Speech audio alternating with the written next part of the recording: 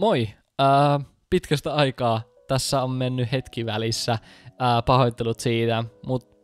mä haluaisin tässä videossa hieman puhua mun tulevasta toiminta-aiheesta sarjakuvasta, ää, joka, jolla mä tuun osallistumaan Webtoonin Call to Action sarjakuvakilpailuun. Eli eiköhän katsota, että minkälaista sarjakuvasta tässä on siis kyse. Webtoon, eli tämä varmaan maailman suurimpia sarjakuvaa, etenkin nettisarjakuva välittäjäpalveluita tai sivustoja, on järjestänyt jälleen kerran uuden sarjakuvakilpailunsa, tällä kertaa nimeltään Call to Action, jossa ideana on kertoa yhden episodin, eli noin tota, yhden sarjakuvaa, semmoisen luvun mittainen tarina, joka, jossa pitäisi olla kahden tai useamman hahmon välinen taistelu sen keskiössä. Ja mä aion osallistua tähän, tähän kilpailuun mun omalla sarjakuvatarinalla,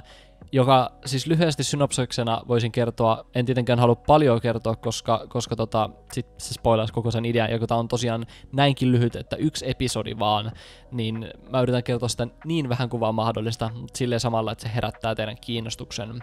Eli tämä tarina siis kertoo tämmöisestä areenalla tapahtuvasta matsista, jossa on yleisöä ympärillä paljon, ja tämä matsi on kahden hahmon välillä, ja tämä kertoo meidän päähenkilöstä nimeltä Sofia, joka on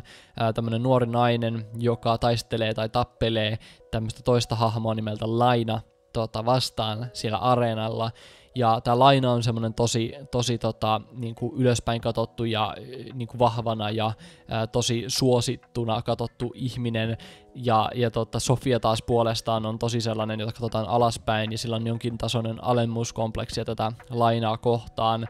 Ja, ja siitä johtuen sitten Sofia miettii myös sinne areenalle astuessaan, että olikohan se loppujen lopuksi edes niin kuin, hyvä idea mennä sinne areenalle tähän matsiin, koska se kokee, että kukaan siellä yleisössä ei halua edes sen voittavan, niin onko tässä sitten mitään järkeä. Ja käytännössä tämä, tämä niin kuin sarjakuva kertoo näiden kahden hahmon välistä tappelusta siellä areenalla, ja, ja niin kuin hyvät tappelukohtaukset kaikki on, niin mun mielestä ää, niin kuin, tappelut kertoo vähän niin kuin keskustelua kahden tai useamman hahmon välillä, mutta sanojen, pelkästään sanojen sijasta siinä on myös käytetään potkuja, lyöntejä, erilaisia taisteluliikkeitä vähän niin kuin puhumaan puolestaan. Ja, ja tota, tässä varmasti näkyy paljon semmoisia asioita, mitkä mun töistä on tuttuja, niin kuin kaikkea tämmöistä hahmodraamaa, hahmojen välisiä suhteita ja niiden välistä draamaa siinä ja, ja jännittäviä kohtauksia, mutta sen lisäksi myös siinä on sitten ekstra elementtinä asia, jota monet mun kanavan seuraajat on jo pitkään multa kysellyt, että aionko mä tehdä koskaan toimintasarjakuvaa enää, niin kyllä, tässä on, tässä on, tässä on toimintasarjakuva,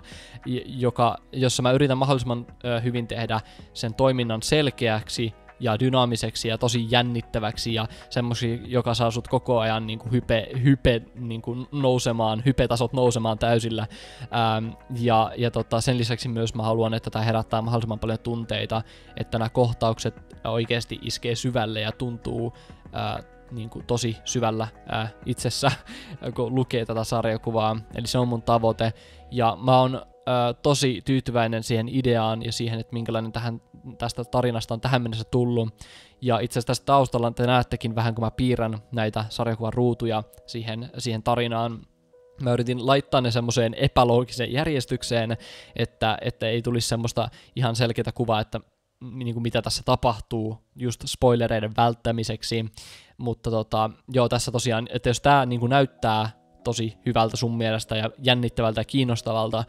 niin mä todella suosittelen, että sitten kun se tulee julkaistuksi, tai sitten kun mä julkaisen sen webtooniin, niin kävisitte lukeen sen, koska se on yksi asia, mitä mä joudun valitettavasti ää, teiltä pyytämään, kysymään, toivomaan, on se, että sitten kun tämä sarjakuva on valmis ja sitten kun mä laitan sen webtooniin ja se on julkinen sille, että te voitte lukea sen, niin mä toivoisin todella ja arvostasin tosi kovasti, jos kävisitte lukeen sen. Ja sen lisäksi myös, kun olette lukenut sen, niin laittaisitte tykkäystä, seuraisitte sitä sarjakuvaa sillä webtoonissa ja laittaisitte kommenttia, koska ne asiat on asioita, jota, niin kuin, jotka on kriteerejä siihen niin kuin, kilpailun voittamiseen. Yksi pieni osa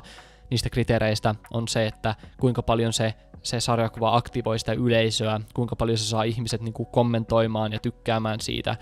Joten sit kun se on valmis ja julkinen, niin arvostaisin tosi kovasti, jos kävisitte lukeen sen ja antaisitte sille sarjakuvalle tykkäystä ja kommentoisitte vaikka teidän lempparikohtauksia tai asioita, jotka teille jäi erityisesti mieleen siitä sarjakuvasta. Se, että milloin sitä sarjakuvaa voi odottaa, niin mä en uskalla vielä antaa mitään tosi tarkkaa päivämäärää, koska mulla on omat päänsiseiset deadlineit tähän, mutta mä en ole ihan sata varma, pystynkö mä niin kuin fyysisesti, pystynkö mä ää, niin kuin, pysymään niissä, joten mä sanon sen, että heinäkuun loppuun mennessä on täytynyt laittaa kaikki nämä sarjakuvat sinne palveluun, eli siihen mennessä sen on pakko olla siellä Webtoon-palvelussa, eli siihen mennessä voi odottaa, mutta to- to- todennäköisesti ja toivottavasti jo kesäkuussa myöhemmin tässä kuussa siis toisin sanottuna voi odottaa ää, tätä sarjakuvaa, ja, ja mä uskon, että jos sä annat sille chanssin, niin sä tuut varmasti nauttimaan siitä, mitä sä luet, ja, ja varmasti se tulee vaikuttamaan suhun tunteellisella tasolla jollain, taso, jollain tavalla edes vähäsen. Ja se on mun mielestä niin kuin asia, josta täytyy kyllä olla ylpeä, jos semmoisen saa saavutettua vain yhden tämmöisen Webtoon-episodin aikana. Ja, ja tässä siis on monta voittavaa sijaa, ää, kymmenen yhteensä, jos ollaan ihan tarkkoja. Ja jos mä pääsen top kolmoseen, ei siis mitään todellakaan takuita siitä, mutta jos pääsen top kolmoseen, niin mä pystyn tehdä tästä, tästä sarjakuvasta, josta te saatte nyt tässä niin kuin luettua tämän yhden episodin, niin mä pystyn sen laajentaa kokonaiseksi sarjaksi ja Webtoon maksaa mulle siitä, eli mä pystyn tehdä sitä NS-työnäni, täyspäiväisenä työnä pelkästään sitä sarjakuvaa. Joten jos te haluatte nähdä tämän sarjakuvan laajentumaan niin kuin kokonaiseksi pitkäksi tarinaksi, joka on täynnä toimintaa ja niin kuin hahmodraamaa, niin mä toivon todella, että te ää, autatte mua pääsemään siihen. Totta kai se on myös paljon minusta kiinni, että pystynkö mä tehdä tarpeeksi hyvän tarinan ja tarpeeksi hyvät piirrokset siihen, että se ää, voittaa sen, mutta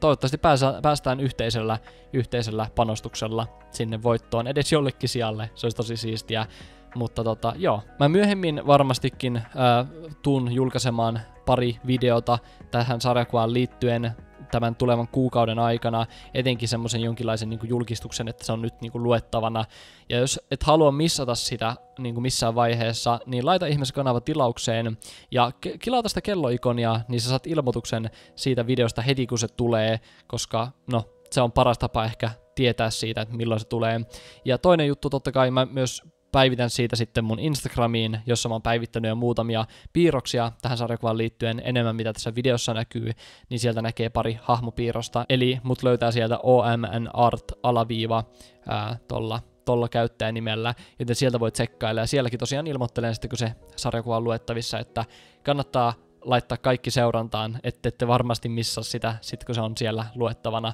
Kiitos jo valmiiksi kaikille, jotka aikoo antaa sille chanssin, ja nyt mun pitää vaan tehdä oma osani ja tehdä sitä mahdollisimman hyvää ja saada se valmiiksi, joten ei mulla sen kummempaa. Toivottavasti piditte videosta ja nähdään ensi videon merkeissä. Se olisi moi.